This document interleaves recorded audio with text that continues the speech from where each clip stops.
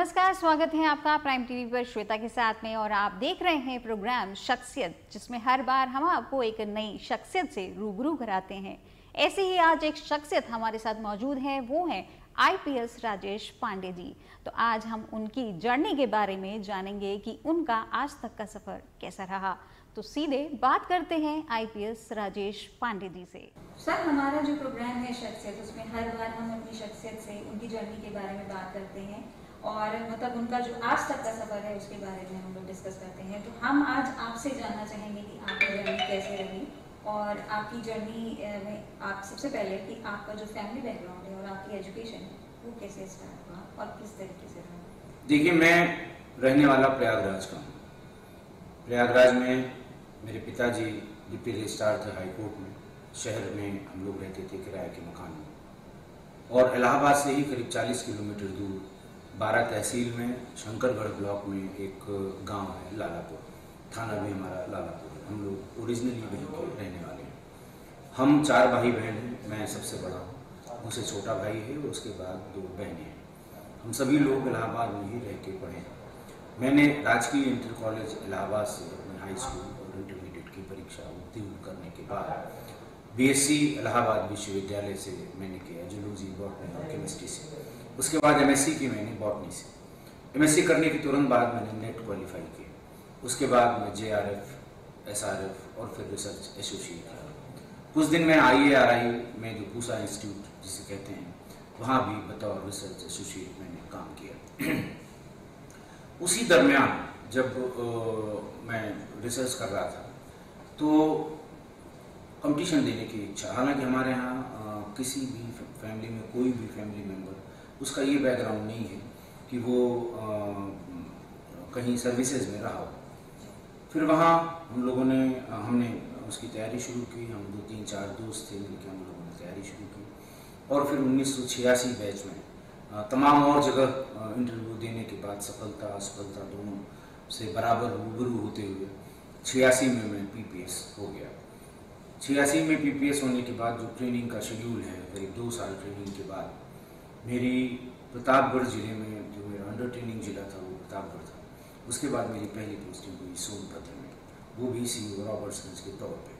फिर दूसरी पोस्टिंग हुई जौनपुर में सी सिटी फिर तीसरी पोस्टिंग हुई आजमगढ़ में सी सिटी आजमगढ़ से मैं लखनऊ गया और तब से आज तक, लगभग आज तक लखनऊ ही लगभग केंद्रित रहा। आज काफ़ी लंबी पोस्टिंग्स मेरी लखनऊ की हुई। लखनऊ में आने के बाद मैं यहाँ सी महानगर सी हजरतगंज सी ओ कैसरबाग। उसी के बाद फिर अट्ठानवे में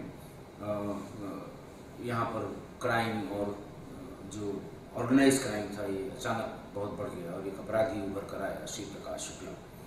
शिव प्रकाश शुक्ला को डील करने के लिए तत्कालीन सरकार में तत्कालीन मुख्यमंत्री श्री कल्याण सिंह जी ने एक यूनिट अलग से बनाई, जिसको हेड किया श्री अजय राज शर्मा साहब अजय राज शर्मा सर उस समय एडीजी लॉ एंड ऑर्डर थे। जो बाद में दिल्ली के पुलिस कमिश्नर हुए और D G B S F हुए रिटायर हुए। उनके साथ बहुत छोटी सी यूनिट उन्होंने बनाई थी जिसमें अरुण कुमार साहब हमारे एसएसपी थे सत्येंद्र वीर सिंह हमारे एडिशनल एसपी थे और मैं था।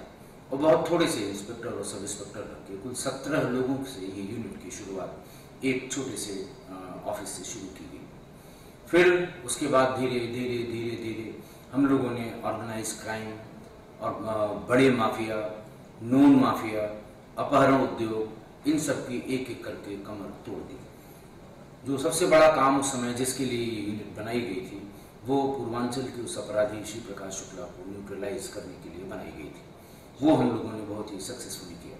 उसके बाद देश के अलग अलग हिस्सों में, कलकत्ता में एक बड़ा एनकाउंटर हुआ। बबलू श्रीवास्तव गैंग के पाँच लोग मारे गए। मुठभेड़ में और दिन की बात है पार्क स्ट्रीट पे ऐसा हुआ था। उसके अलावा मुंबई में और उत्तर प्रदेश के तमाम दीगर जिलों में एस ने बहुत माफियों की कमर तोड़ दी।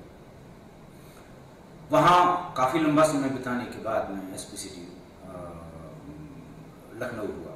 एस लखनऊ रहने के बाद फिर एस गाजियाबाद और एस पी मेरठ भी रहा। इस बीच में थोड़े समय के लिए मैं बॉर्डर बाउंड्री पुलिस में भी गया था। कोई करीब डेढ़ महीने के लिए। और एक आध महीने के लिए ही जो विजिटर विश्वविद्यालय पी एस मुरादाबाद भी रहा। वहाँ से लौट के फिर मैं कुसोवो की जो संयुक्त राष्ट्र संघ का शांति मिशन कुसोवो में चल रहा था फॉर्मर यूगोस्लाविया में। वहाँ पर मैं करीब साल भर से थोड़ा ज़्यादा ही वहाँ पर शांति मिशन में रहा।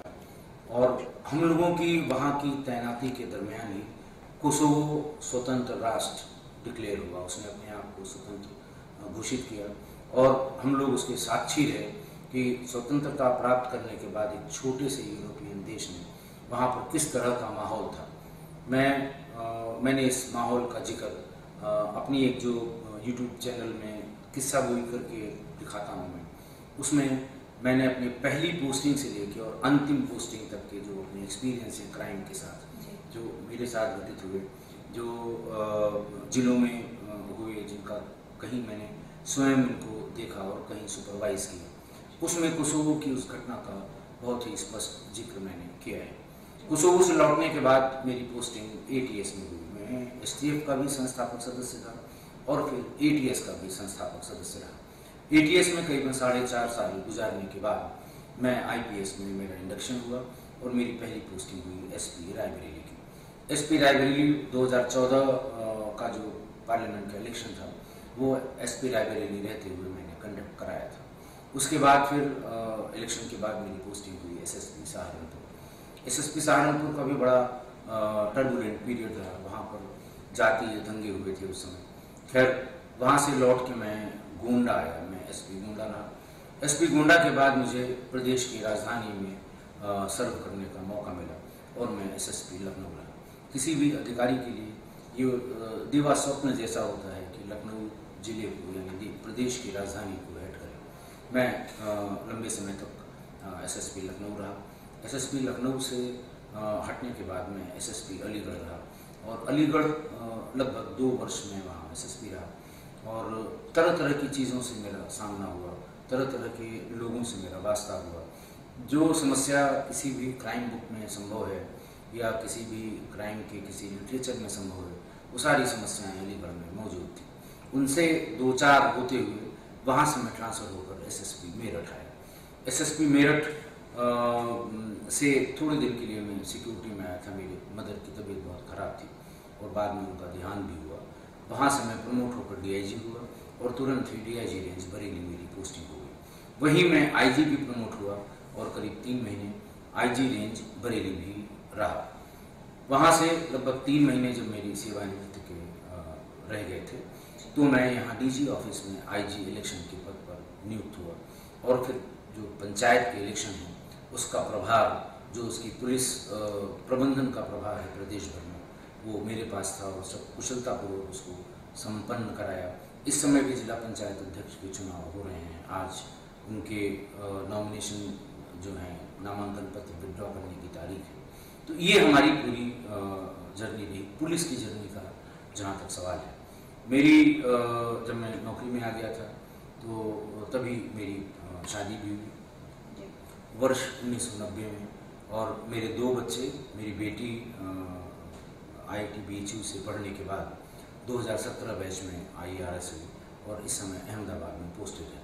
बेटा मेरा बीटेक दिल्ली यूनिवर्सिटी से कंप्यूटर साइंस में करने के बाद अभी कंप्लीशन की तैयारी दिल्ली में रह के कर रहा है। ये हमारी कुल बैकग्राउंड है। भाई हमारा छोटा, मैंने बताया कि हम दो भाई थे। छोटा भाई मेरा I F S Madhya Pradesh काटो में। और इस समय रायसेन ज़िले में D F O posted sir, ये आपने अपना थोड़ा सा एक ब्रीफ उनको अपना जो आज तक की आपकी जर्नी रही है, उसका ब्रीफ आपने बताया। अब हम थोड़ा सा डिटेल में आपसे चाहेंगे तो हम ये वन बाय वन हम जानना चाहेंगे, क्योंकि जो भी आपने ब्रीफ किया है तो सबसे पहले जो आपने बोला कि आपने अपनी एजुकेशन के बाद में जो एक रिसर्च एसोसिएट का जो जॉब आपने स्पष्ट आपका जो जॉब रहा था उसमें क्या वर्क प्रोफ़ाइल था? मतलब किस तरीके से क्या देखिए वो वो देखिए वो किसी टॉपिक पर किए जाने वाला रिसर्च मेरा टॉपिक था ब्लू ग्रीन एरिया बॉटनी में था नेचुरली नाइट्रोजन फिक्सेशन पे हमारा काम था। कि किस तरह से ब्लू ग्रीन एल्गा अब आपने देखा होगा कि तमाम ऊसर ज़मीनों में ब्लू ग्रीन एल्गा को ग्रो करा के उसको खेती लायक बनाया जाता है। अब उसका कमर्शलाइजेशन भी हो गया। उस समय उस पर रिसर्च हो गई थी। प्रोफेसर डी सी पांडे उस समय हमारे ऑफ़ डिपार्टमेंट थे और हमारे रिसर्च गाइड थे। और उनकी मृत्यु के बाद प्रोफेसर जी एल तिवारी मेरे गाइड रहे, जो मुझे रिसर्च के लिए गाइड कर रहे थे। हालाँकि मैं रिसर्च पूरी कर नहीं पाया और उसी बीच में मेरा यहाँ सिलेक्शन हो गया। और हालाँकि उसमें काम लगभग सब हो चुका था और पीएचडी सबमिट करने की स्टेज में थे। और हमारे रिसर्च गाइड ने, बाकी हमारे मित्रों ने, हमारे साथ के जो लोग वहाँ रिसर्च कर रहे हैं ये अपेक्षा की थी कि आप इस बीच में रिसर्च पूरी कर लें। लेकिन फ़ील्ड पोस्टिंग की वजह से वो समय मैं दे नहीं पाया और आ, मुझे थोड़ा अनुचित भी लग रहा था कि मैं एक काम करते हुए दूसरे आ, उस काम में से समय चोरी करके दूसरे काम में लगाऊँ। थोड़ा सा ऐसा ऐसा नहीं कि लोग नहीं करते हैं बहुत से लोगों ने किया है बहुत आयत लोगों ने किया है ऐसा नौकरी में रहते हुए अपनी पीएचडी कंप्लीट की लेकिन कुछ ऐसा लगा मुझे कि बहुत ज़्यादा मॉरल नहीं है। तो वो मैंने नहीं किया नहीं कंप्लीट कर पाया। लेकिन काम उसका जो था ब्लू ग्रीन एलगी की जो मॉर्फोलॉजी का काम है फिक्सेशन का जो काम है नाइट्रोजन फिक्सेशन उस पर मेरे रिसर्च पेपर में पब्लिश हुए थे इलाहाबाद यूनिवर्सिटी से और अच्छा काम था मुझे संतुष्टि थी उस काम से। फिर आपने अचानक से वो पीपीएस का जो आपका जो सिलेक्शन हुआ वो आपने जो एकदम से चेंज किया कि पुलिस लाइन में आने का जो विचार था वो आपके अचानक से आपके माइंड में कैसे आया? या आपके घर की तरफ़ से आपके पेरेंट्स ने आपको गाइड किया कि नहीं आप इस लाइन में जाइए? नहीं देखिए इसमें पुलिस में आने का तो कोई ऐसा विचार नहीं था। आप जानती हैं कि आज की तारीख में कंपटीशन में it's not a matter of choice it's a matter of luck हम थोड़ा दो चार नंबर और पाए होते तो एस होते। हम दो चार नंबर और पाए होते तो आई एफ़ एस आई दोनों में इंटरव्यू तक मैं पहुँचा। नहीं हुआ। तो कंपटीशन में जो लोग भी हैं वो सब जानते हैं कि सफलता और असफलता बड़ी आ, कम दूरी है इनके बीच में। सफल हुए बहुत बढ़िया असफल हुए तो आपको और जगह ट्राई करना होता है। ये बात सही है कि आ, पढ़ाई में लंबा समय लग रहा था। इलाहाबाद विश्वविद्यालय में पीएचडी तीन साल में नहीं कंप्लीट होती। और साइंस में खासकर कभी पाँच साल लगते हैं कभी छः साल लगते हैं। मेरे पिताजी का रिटायरमेंट आ गया था। तो थोड़ा सा प्रेशर तो एग्जैक्ट नहीं था, लेकिन थोड़ा सा घर में भी इस तरह का वातावरण बन रहा था कि मुझे कहीं नौकरी के लिए भी, कहीं अच्छी नौकरी के लिए भी कंपटीशन में अपीयर होना चाहिए। थोड़ा उनका विचार और हमारे साथ के जो हमारे मित्र थे, जिनके साथ हम रिसर्च कर रहे थे, थोड़ा उनका विचार। उनमें से रमेश श्रीवास्तव थे, बहुत सीनियर पोजिशन में फॉरेस्ट में इस समय मध्य प्रदेश में। और उनकी फैमिली में सब सर्विसेज़ के बैकग्राउंड के थे। तो उसने हमारी बहुत मदद की, क्योंकि मुझे इसके बारे में कितने सब्जेक्ट होते हैं, कितने पेपर होते हैं, कितने नंबर के होते हैं, कितना, क्या प्रोसेस है उनको पढ़ने का, तैयारी करने का क्या तरीका होना चाहिए। जीएस के लिए आपको क्या क्या, सब रमेश श्रीवास्तव ने मेरी मदद की। और फिर रमेश श्रीवास्तव का आईएफएस में हुआ और मैं पीपीएस में सर, फिर उसके बाद में आप एस पी सिटी आप एस पी सिटी रहे उसके बाद में बहुत सारे जिसमें आपने बहुत सारे ऐसे केसेस सॉल्व किए हैं, जिसमें आतंकी हमले जितने भी हुए हैं, जैसे एक वाराणसी में एक मंदिर का एक था, लखनऊ में एक आतंकी हमला हुआ था, जिसके लिए उसमें आपने किस तरीके से अपनी भूमिका निभाई थी? देखिए, पहले टेररिज्म का काम भी एस ही करती थी। एसटीएफ में रहते हुए बहुत बड़े बड़े अपराधियों न्यूट्रलाइज किया गया। बहुत बड़ी संख्या है जिनके न्यूट्रलाइज करने की प्रोसेस में मैंने पार्टिसिपेट किया। हमारे साथियों ने किए हमारे जूनियर्स ने किया। हमारे वरिष्ठ अरुण कुमार साहब ने और सत्यवीर सिंह साहब ने किया। लेकिन टेररिज्म का काम भी उसी समय एस टी एफ़ ही करती थी। अयोध्या में जब 2005 में आतंकवादी हमला हुआ तो हम लोग एस टी एफ़ लिए थे। और एस टी एफ़ में ही सबसे जो फ़र्स्ट रिस्पॉन्डर थे वो हम ही लोग थे। सबसे पहले हम लोगों की टीम वहाँ पर पहुँची थी जो आतंकवादी पाँच मारे गए थे उनका प्रोफ़ाइल तैयार करना। और जो केंद्रीय एजेंसियाँ हैं उनकी मदद से उनको आइडेंटिफाई करना। किस ऑर्गेनाइजेशन से हैं से हैं उनको आइडेंटिफाई करना।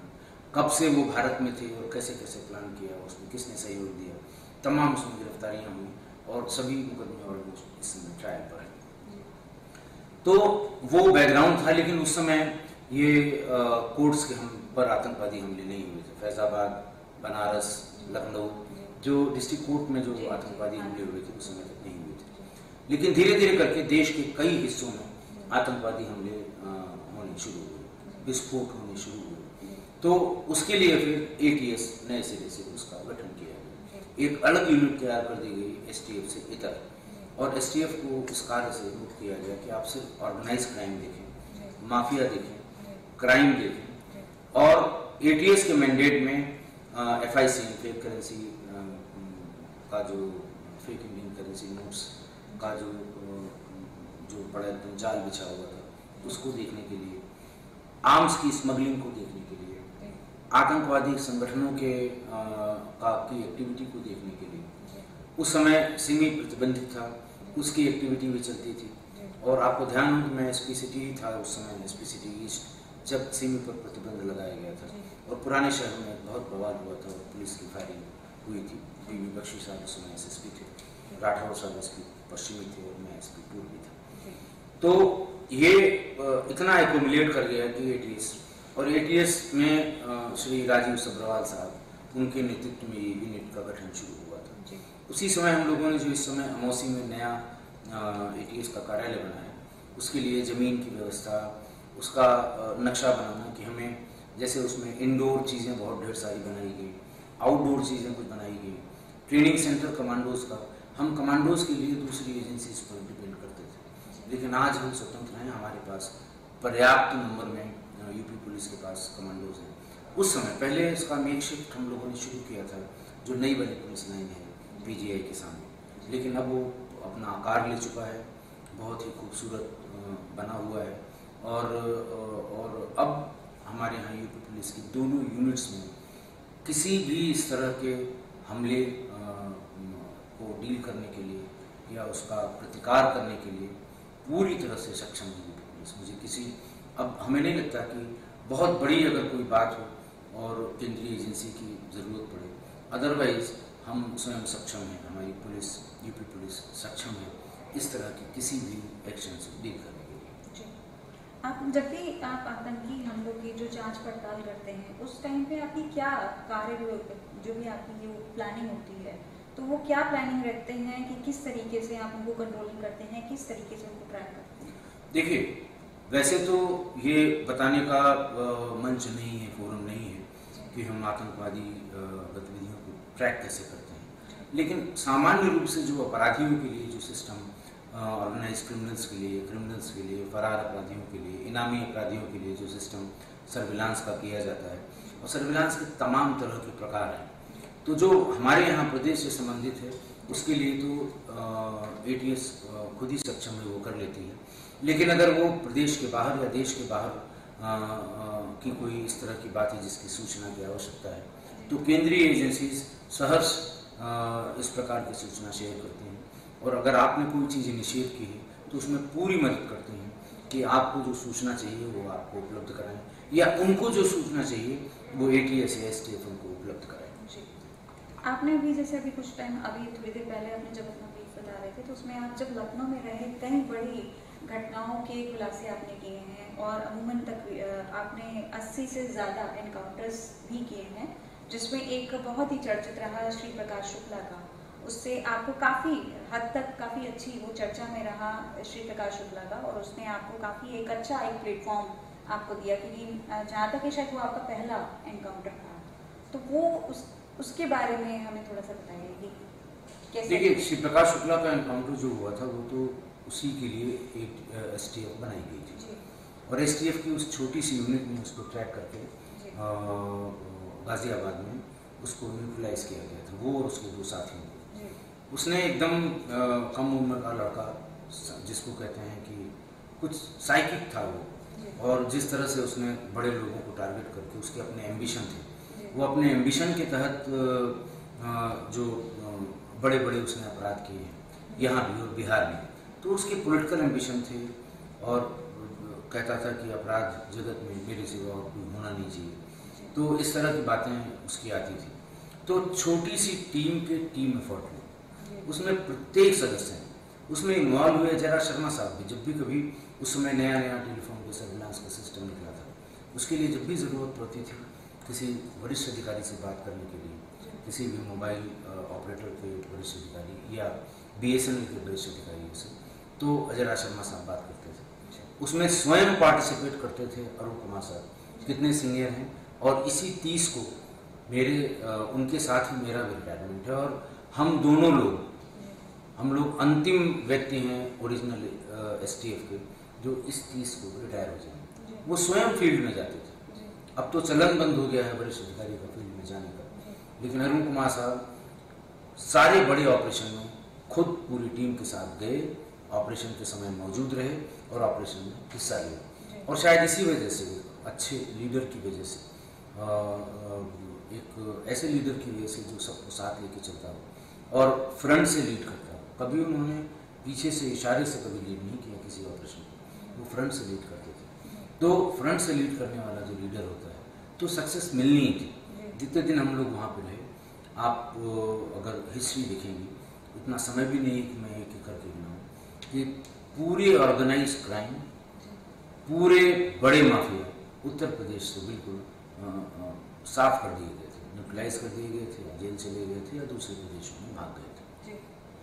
आपका जो सर, पहला एक एनकाउंटर जो आपने सबसे पहला एनकाउंटर आपका श्री प्रकाश शुक्ला था उस टाइम पे जब आप एनकाउंटर कर रहे थे क्योंकि पहली बार करने में थोड़ा सा हेजिटेशन होती है तो क्या ऐसा कोई हेजिटेशन रहा आपको कि मैं एनकाउंटर करने जा रहा हूँ? कोई डर या कोई हेजिटेशन आपके मन में? नहीं नहीं कोई हेजिटेशन देखिए ऐसा है कि वो जो उसने ट्रेल छोड़ रखा था जी।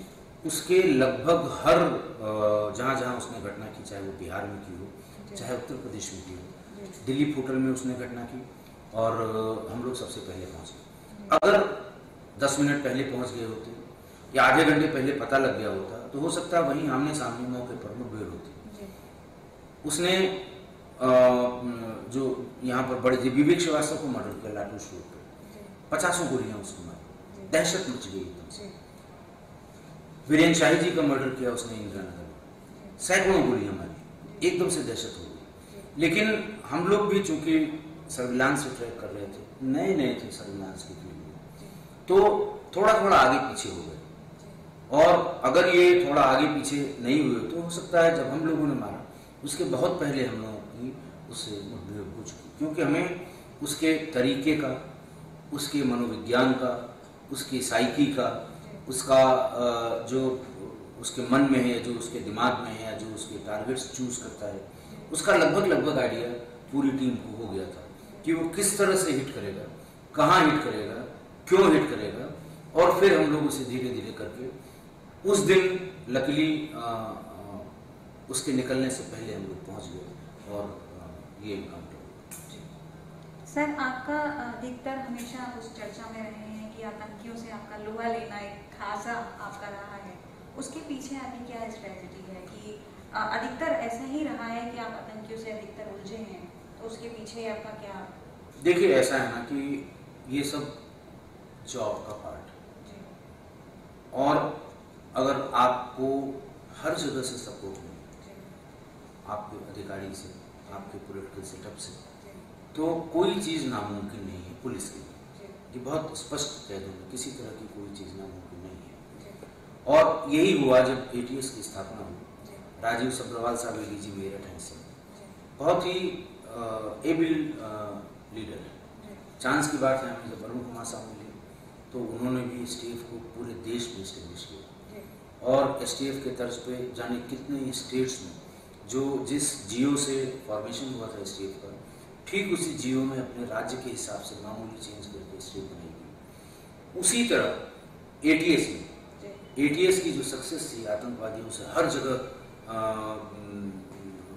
उनसे उलझना और एक एक करके कोई बड़ा ऐसा गैंग या कोई ऐसा बड़ा आतंकवादी गुट या कोई ऐसा आतंकवादियों का मॉड्यूल उत्तर प्रदेश में नहीं रह गया था उस साढ़े चार साल के दरमियान जो यहाँ से ऑपरेट कर रहा हो।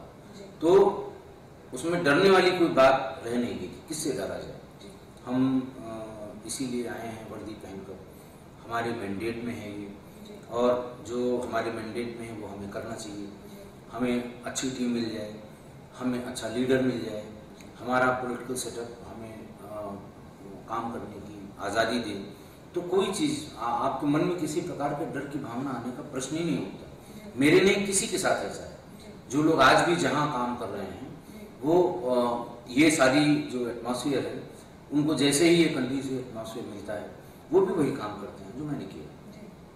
अच्छा आपने कई बार जैसे ये आपके हमेशा ऐसे जो कॉन्टैक्ट रहे, आपने हमेशा कोई ना कोई ऐसे कई खतरनाक और ऐसी कई घटनाओं पे आपने काम किया है, कई ऐसे केसेस पे काम किया है उसके चलते कई बार ऐसा होता है ना कि बहुत सारे राइवल्स क्रिएट हो जाते हैं। तो ऐसे ही कई राइवल्स आपके भी क्रिएट होंगे जिन्होंने आपको डायरेक्टली और इनडायरेक्टली धमकाया भी होगा। आपके पेरेंट्स आपके फैमिली मेंबर्स को भी उन्होंने टॉर्चर किया होगा या किसी ना किसी तरीके से। तो उस टाइम पे आप लोग का क्या रिएक्शन रहा? क्या उस टाइम पे कभी आपके मन में आया कि नहीं मुझे ये नहीं करना चाहिए? या आपके फैमिली की तरफ़ से कभी किसी ने कहा कि नहीं आप ये वाला जॉब मत करिए इसको छोड़ दीजिए। देखिए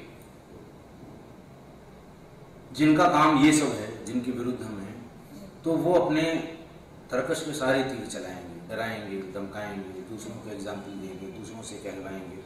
तरह तरह से एप्लीकेशन देते हैं बहुत ढेर सारी छोटी शिकायती पत्र। सारे अधिकारियों के खिलाफ पढ़ते हैं कि थोड़ा इसमें उलझे। लेकिन अगर आप साफ़ सुथरे हैं आप सही हैं तो आपको डरने की कोई ज़रूरत नहीं। हाँ ये सही है। कि परिवार में जिसमें चूँकि हमारा कोई ऐसा बैकग्राउंड नहीं था, ना मेरे यहाँ कोई आर्मी में था, ना पुलिस में था, इन सर्विसेज़ में कोई नहीं था। तो कभी कभी मेरे पेरेंट्स भी और फैमिली मेंबर भी जब वो अखबारों में पढ़ते थे या टीवी में इस तरह की खबरें देखते थे कि ये मारा गया या वो मारा गया या टीम वहाँ पे गई हुई तो थोड़ा विचलित ज़रूर होते थे और बच्चे भी कभी कभी विचलित होते थे कि और भी लोग हैं काम करने के लिए। ज़रूरी नहीं कि आप ही सब काम करें, जितना कर दिया उतना बहुत इस तरह की बातें होती थी। लेकिन एक जैसे वो कहते हैं ना कभी कभी नशा भी हो जाता है। एडिक्शन होता है काम करने का। देश भर में पचास साठ ऐसे अधिकारी हैं जो जिनको जिनकी साइकी है कि हाँ हमें अपराधियों के खिलाफ आतंकवादियों के खिलाफ इनके खिलाफ काम करना है। और वो करते हैं। और उनको तमाम चीज़ें जो उसमें डिस्ट्रैक्ट करने वाली हैं वो नहीं कर पाते हैं डिस्ट्रैक्ट वो अपने काम में लगे रहते हैं करते हैं। तो वो एक नर फोर्स है। साथियों का अच्छा सपोर्ट अगर मिल जाए टीम बहुत स्ट्रांग हो तो डरने वरने की कोई बात ही नहीं कहीं कोई बात नहीं अच्छा आपका ये आपने आज तक बहुत सारे केसेस हैंडल किए हैं उसमें सबसे ज़्यादा टिपिकल केस आपका कौन सा रहा जो आपको सॉर्ट करने में बहुत प्रॉब्लम हो देखिए केसेस तो बहुत हैं मैंने तमाम ऐसे ऑफ़ हैंड इस समय बिल्कुल याद नहीं है। लेकिन चूँकि हम बिल्कुल नए नए थे ऑर्गेनाइज क्राइम से लड़ने के लिए जब स्टेप बनाई गई थी। तो टिपिकल टफ और दिक्कत वाला जो था वो शिव प्रकाश शुक्ला का ही था जिससे शुरुआत हुई। उसके बाद फिर आप तमाम बबलू श्रीवास्तव का जो उसके गैंग मेंबर्स के साथ इनकाउंटर हुआ वहाँ कलकत्ता में। वो भी बहुत टफ था। बड़ी मुश्किल से हम लोग वहाँ तक पहुँचे थे और आखिर गोली चली गई थी। इसी के साथ साथ जो इन्वेस्टिगेटिव जिसको वो कहते हैं कि स्किल्स जो हमारी टेस्ट हुई वो सबसे ज़्यादा अयोध्या पे जो आतंकवादी हमला हुआ था उसमें हमारी इन्वेस्टिगेटिव स्किल्स टेस्ट हुई। और उसको किस तरह से डे वन से जिस दिन उनका पहला हैंडलर यहाँ उतरा था और उससे लेके तब तक जब यहाँ पर विस्फोट हुआ बहुत ही सिस्टमेटिक तरीके से एस ने उसकी इन्वेस्टिगेशन की थी। बीच में एस को एक मैंडेट में मैंडेट में एक चीज़ और शामिल की गई कि इलीगल हथियारों और उसमें कारतूसों की जो आप देखिए, कारतूस नहीं बना पाते थे उस समय। अब तो खैर इलीगल कारतूस भी लोग फैक्ट्री में बनाने लगे हैं। पहले कारतूस जो है सरकारी सप्लाई के ही वो इलीगल वेपन्स में इस्तेमाल किए जाते थे।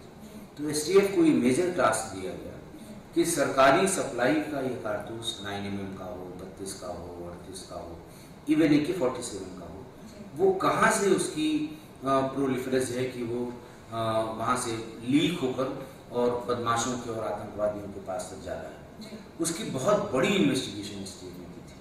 और उसमें हमारे विभाग के भी बहुत ढेर सारे लोगों को का सम्मिलित होना पाया गया था। उनके खिलाफ कार्रवाई हुई, जेल भेजे गए, मुकदमे चले। तो ये इन्वेस्टिगेशन थोड़ी सी बहुत टफ थी। इसके अलावा आतंकवादी कई घटनाएँ ऐसी, जैसे ए में आने के बाद जो सीरियल ब्लास्ट हुए थे कोर्ट्स के, इसकी भी इन्वेस्टिगेशन और ए के इन्वेस्टिगेशन में जो कन्विक्शन का रेट है वो बहुत हाई है। उससे आप अंदाज लगा सकते हैं कि कितने सिस्टमेटिक तरीके से एस ने ये इन्वेस्टिगेशन की है। आपको सर बहुत सारे अवार्ड्स भी मिले हैं कई सारे अवार्ड जिसमें चार तो आपको वैलेंट्री अवार्ड दिए गए हैं। सर आपका उसमें सबसे पहला अवार्ड कौन सा था मतलब कौन सा अवार्ड लेने में आपको सबसे ज़्यादा बहुत खुशी हुई थी कि हाँ मतलब आप ये अवार्ड लेने जा रहे हैं और आप एक अलग सा एक एक्सपीरियंस था वो। देखिए एक घटना हुई थी जनपद में। जी। और वो हुई थी सत्तानवे में सितंबर में हुई थी सितंबर सितंबर बीच जनपद में शाम को सात बजे कई हज़ार लोग जनपद सबसे जनपद को बेसिकली दिल्ली लखनऊ का दिल कहते हैं हजरतगंज और जनपद बहुत सबसे बिज़ी मार्केट है। हम लोग उसमें शिव प्रकाश को चेज कर रहे मैनुअली चेज कर रहे थे। जो मुखबिरों के बेस्ड इंफॉर्मेशन होती थी उस पर चेक कर रहे थे। और ये सूचना होती थी कि वो हजरतगंज में जो जनपद है उसमें एक बार्बर शॉप में बाल कटाने या शेविंग करने आता है। और उसके पास एक बड़ा बैग होता है जो लटकाने वाला बैग है जिसमें एक फोर्टी सेवन रहती है। कई दिन से हम लोग लगातार चेक कर रहे थे और उस दिन भी चेक करते करते उनका एक आदमी ए के फोर्टी सेवन मिल गया। उसने गोली चलाई। पुलिस ने गोली चलाई और वो वही मौके पर मारा गया। बिहार का था उसका नाम टूनिया नाम था। ए के फोर्टी सेवन और ढेर सारी कारतूस उस बैग में मिले। लेकिन और साथ में उसके शिव प्रकाश उसका पूरा गैंग भी था। उन्होंने देखा कि पुलिस ने इसको पकड़ लिया है कि 47 के लिए पुलिस जद्दोजहद कर रही है। तो वो पीछे की तरफ़ भागे। हमारे टीम मेंबर आर के सिंह जो सब इंस्पेक्टर थे लीडर थे उस समय S P C T Satyendra Singh वो ऊंचाई पकड़े थे। हम लोग नीचे की तरफ़ जहाँ पीछे से जाने का रास्ता है, उस गली में हम लोगों ने चेक करने के लिए रोका। उसने ना नुकर की, फिर उसने कोशिश की फायर करने की। वहीं पर न्यूट्रलाइज कर दिया हम लोग वो थोड़ा हम लोगों को कवर करने के लिए थोड़ा ऊंचाई पे खड़ा था, जो फ़र्स्ट फ्लोर से पहले जो नीचे मार्केट है, वो वहाँ से खड़ा हुआ। उसने देख लिया कि एक को पकड़ते ही तीन भागे हैं पीछे की तरफ़। वो उनके पीछे पीछे भागा। वो पहले जो पार्किंग थी, उसमें तार लगे हुए थे, उससे उलझ के सड़क पे गिरा और गिरते ही वो लोग जो, जिनका पीछा कर रहा था शिव प्रकाश और सुधीर और आनंद, ये आए वापस और उसकी पिस्टल छीन कर, चूँकि गिर चुका था वो बिल्कुल उस एक मिनट के भीतर उसी की पिस्टल छीन कर उसके सिर में नौ गोलियाँ मार दी। बड़ा इनकाउंटर हम लोगों ने भी किया, लेकिन हमारा बहुत बड़ा नुकसान भी हुआ उस तो और इस पूरी घटना को पूरे प्रकरण को हज़ारों लोगों ने शाम को सात बजे लखनऊ में जनपद में देखा। उस एक्ट के लिए और उस समय वो पहली एक फोर्टी सेवन थी जो बरामद की गई थी। बदमाशों से। क्रिमिनल्स तो उसका जो साइटेशन गया उसमें आर के सिंह को मरणोपरांत हमको और कुमार साहब को सत्यनवीर सिंह को तिलतिया को हम लोगों को गैलेंट्री मेडल मिले। वो हमारा हमारी सर्विस का हमारे उसका पहला गैलेंट्री मेडल उसको रिसीव करने के लिए जब महामहिम राज्यपाल महोदय ने पुलिस लाइन में बड़े फ़ंक्शन में बड़ी परेड जो होती है पुलिस में उसमें वो मेडल मिला। तो मेरी माता जी और मेरे पिताजी दोनों उस समय थे जीवित थे। वो भी पुलिस लाइन में मौजूद थे मेरे बच्चे मौजूद थे मेरी पत्नी मौजूद थी मेरा पूरा परिवार मौजूद था। उस समय बहुत अच्छा लगा था गर्व हुआ था।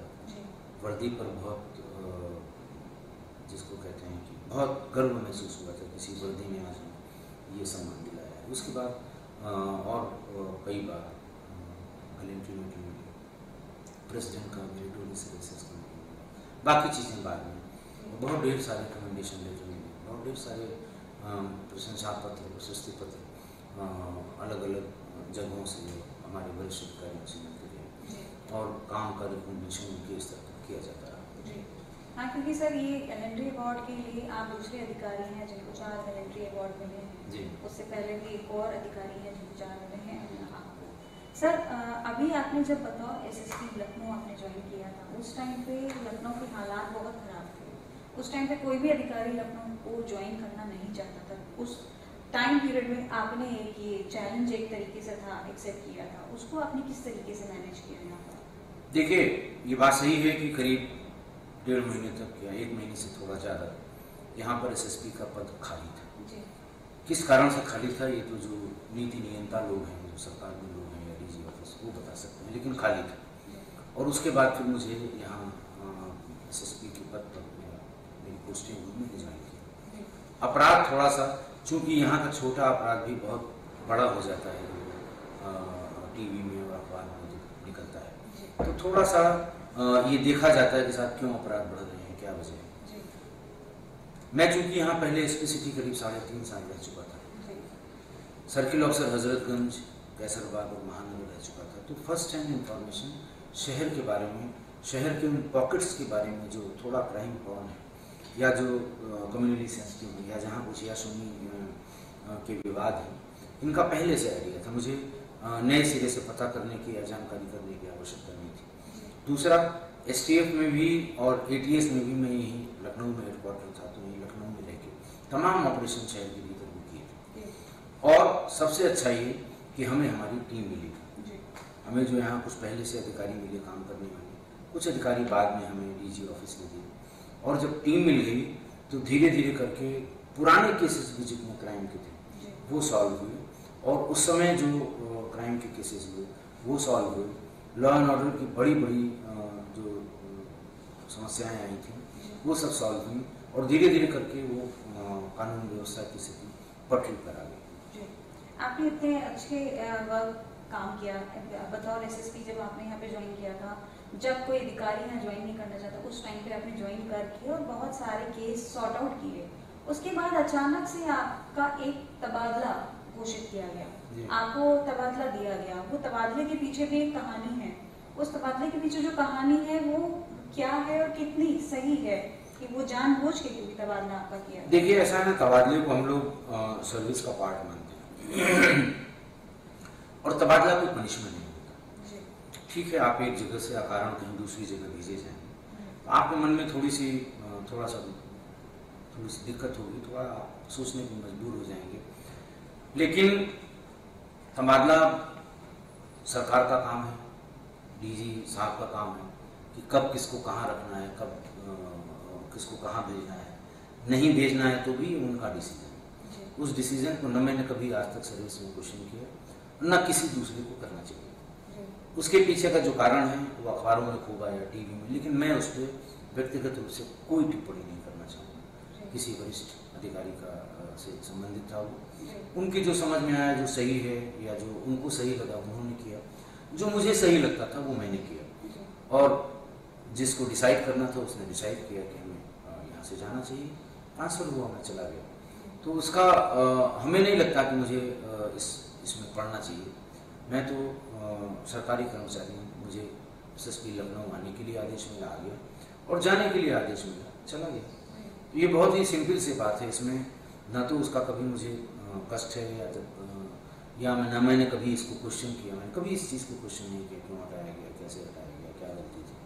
ठीक है, ये उनका अधिकार है, उन्होंने अपने अधिकारों का प्रयोग किया। मेरी जो समझ में सही था, वो मैंने किया।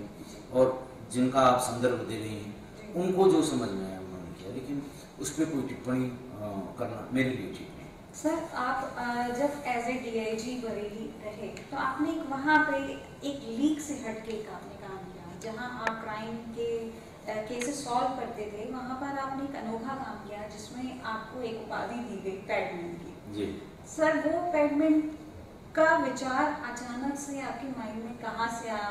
आप कहाँ से आया? और वो विचार था या वो एक मूवी अक्षय कुमार की मूवी का एक इम्पैक्ट था कि जिसकी वजह से आपने वो वाला काम किया? नहीं नहीं मूवी का तो कोई मतलब नहीं है। और इनफैक्ट मैंने अखबारों में या टीवी में विज्ञापन में या रेफरेंसेज में सुना है। मैंने वो फ़िल्म देखी भी नहीं। हुआ ये था कि जब पहली बार लॉकडाउन हुआ तो वो बड़ा ज़बरदस्त लॉकडाउन था। जी।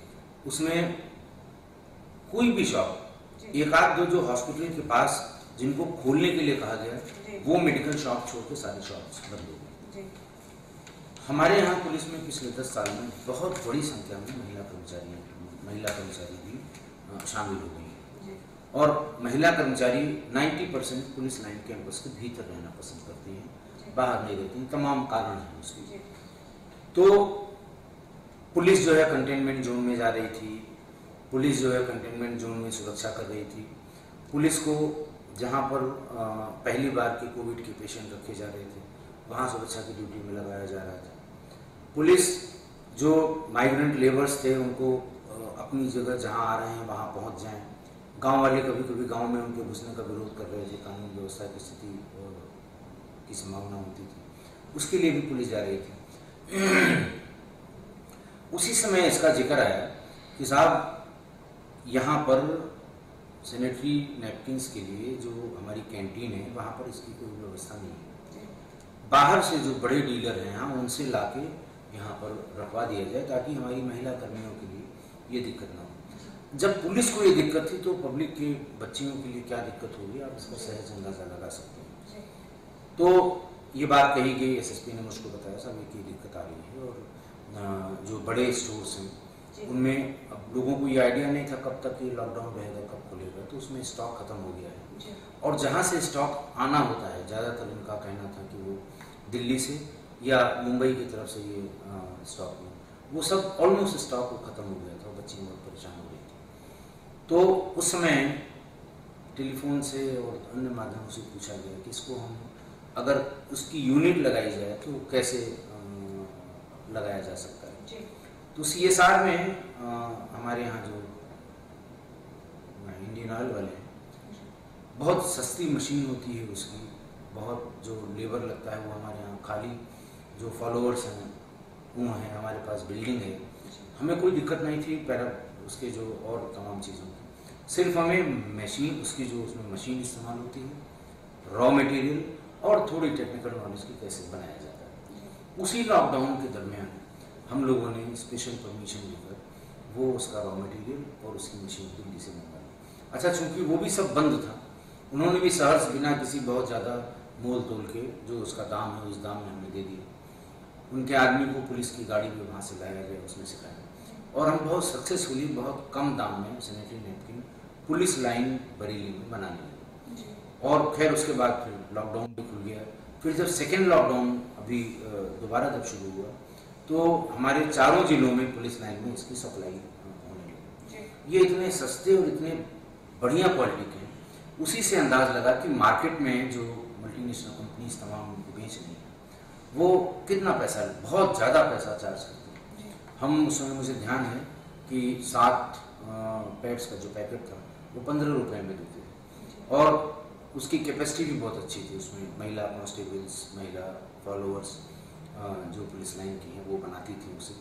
और वो बस्ता नहीं था वो। उसके लिए ये भी कंडीशन थी कि आपके कंजम्पशन से अगर बच जाएगा तो आप पब्लिक के लिए भी इसे। तो वहाँ जिस आउटलेट से उसे बेचा जा रहा है, वहाँ पब्लिक के बहुत से लोग, बच्चे हैं, जो जो पैड्स अफोर्ड नहीं कर सकती हैं, जो मार्केट में मिलता है, वो सब ले जाते हैं। तो ये बहुत, उसके बाद और भी बहुत सी जगह ये लगाई गई हैं अपने कर्मचारियों के लिए। और दूसरा ये था कि वहाँ पर जो हमारा पुलिस मॉडर्न स्कूल है बरेली का, उसमें बहुत ढेर सारे बच्चे हैं, करीब पंद्रह सौ बच्चे जिसमें सात, साढ़े सात सौ के बच्चे हैं। एक दिन मीटिंग में प्रिंसिपल ने ये कहा कि साहब, हमें बहुत दिक्कत होती है, जो बच्चे यहाँ बिल्कुल जो शुरू करते हैं, जिन्हें अचानक पैड की ज़रूरत पड़ती है वो हमसे भी नहीं कह पाते हैं पेरेंट्स से भी नहीं कह पाते हैं और हमें हम उन्हें बाहर नहीं भेज सकते। तो हमें एक वो जो वेंडिंग मशीन होती है वो दिलवा दीजिए। और ये जो आप बनाते हैं इसी से क्योंकि वो वाइबल नहीं थी। पहले वो वाइबल इसलिए नहीं थी कि वो बहुत पैसे में बाज़ार से ला के उस वेंडिंग मशीन में डालते थे तो अब वहाँ के जो उनका वॉशरूम है बच्चियों का उसमें एक वेंडिंग मशीन लगा दी जो हम ये प्रोड्यूस करते हैं वही उसमें भर दिया जाता है। और एक एक रुपए के कॉइन में वो वहाँ मिल जाता है उनको। बच्चियाँ बिल्कुल असहज हो, जा, हो जाती हैं अचानक जब उनको ऐसा पता लगता है। तो अब उनके लिए ये आसानी हो गई और प्रिंसिपल मैडम का मैंने ये समस्या की तरफ़ आकृष्ट करने का ध्यान देने का उनका भी आभार व्यक्त किया मैंने भी और जो तत्कालीन एस एस पी थे उसमें बरेली के शैलेश पांडे जी उन्होंने भी और इस तरह से हम बच्चियों को सुरक्षा दे पाए। जी। आपने हाल ही में एक अपना यूट्यूब चैनल स्टार्ट किया है किस्सा गोई के नाम से। उसका अचानक से आपने क्या मतलब क्यों आपने ये शुरू किया? उसका विचार आपके मन में कैसे आया? देखिए पिछली बार मैंने बताया कि पिछली बार पर लॉकडाउन बहुत ही कड़ा था। जी। पब्लिक जिसके लिए हम ऑफ़िस में बैठते हैं कि पब्लिक अपनी शिकायत लेके आएगी उन शिकायतों का समाधान करेंगे। महीनों महीनों कोई पब्लिक आई ही नहीं। जी। डाक से अगर कोई सूचना मिल गई व्हाट्सएप पर कोई सूचना आ गई फिर पुलिस को वहाँ पर जाके काम करने में कुल मिला के जो पब्लिक का फ्लो था वो बंद हो गया। क्राइम करने वाला और जिसके साथ क्राइम होना है वो घरों के भीतर हो गए। क्राइम भी ऑलमोस्ट खत्म हो गया उस समय। और दिन भर खाली बैठना ये उचित या अच्छा नहीं लग रहा था। मैं फेसबुक से जुड़ा हुआ हूँ। फेसबुक पे मैंने अपने मित्रों से और प्रशंसकों से फॉलोअर से ये पूछा कि अगर मैं जिस दिन से मैं नौकरी में आया हूँ अपने पुलिस के एक्सपीरियंस अगर शेयर करूँ चैनल में तो कैसा रहेगा? उन्होंने सबने अपनी सहमति दी। तो मैं जिस दिन मैंने पुलिस की सर्विस ज्वाइन की उस दिन से पहला एपिसोड शुरू किया। और फिर धीरे धीरे धीरे धीरे वो आ, समय का सदुपयोग किया। किसी किसी दिन दिन में दो हम रिकॉर्ड कर लेते थे और दो दिन उसको पोस्ट करते थे। बीच में जब लॉकडाउन एकदम ख़त्म हो गया नवंबर बीस के बाद दिसंबर में तो फिर ये बंद हो गया क्योंकि उतना समय फिर नहीं मिलता था कि मैं रिकॉर्ड करके उसको पोस्ट करूँ। लेकिन तब तक मार्च के बाद फिर शुरू हो गया ये। फिर हमारे पास खाली टाइम हो गया। हम आ, उतना सब उतना आ, काम नहीं रह गया।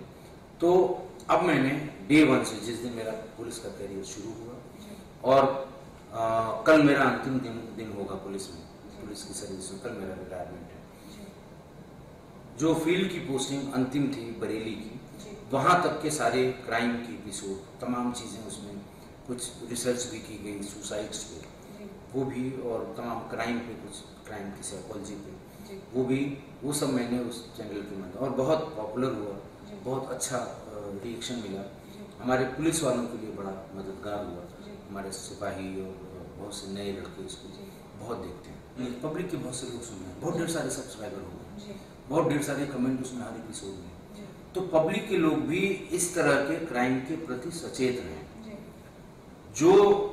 क्रिमिनल बिहेवियर का है या जिसका माइंडसेट क्रिमिनल है वो ये जान जाए कि क्राइम करने के बाद हम बचेंगे नहीं तमाम तरीके पुलिस के पास हैं। तो एक उनको रोकना पब्लिक को सचेत करना और अपनी पुलिस को ये बताना कि आप इस तरह के क्राइम को किस तरह वर्कआउट करेंगे। हमने किस तरह किया है ज़रूरी नहीं कि हर क्राइम एक ही तरह से वर्कआउट उसके सौ तरीके हो सकते हैं। तो अलग अलग क्राइम में जो जिसने इसको देखा उसमें उसको मदद मिली। आपने उसमें सिर्फ़ अपने एक्सपीरियंसेस दिए हैं या कुछ सजेशन भी उसमें किस्सा कोई में रहा है कि लोग जो हैं उसको देख के कुछ अवेयर हो जाएँ कि कुछ ऐसे आपने कुछ सीक्रेट्स भी दिए हैं नहीं देखिए सुझाव मैंने बहुत ढेर सारे दिए हैं। जो। क्राइम कैसे वर्कआउट हुआ ये सब बताया है।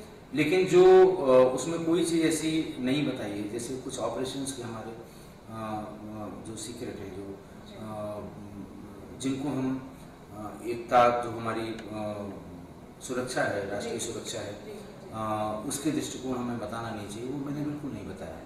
सामान्य क्राइम किस तरह हुआ? किस तरह वर्कआउट हुआ? और कैसे करना चाहिए?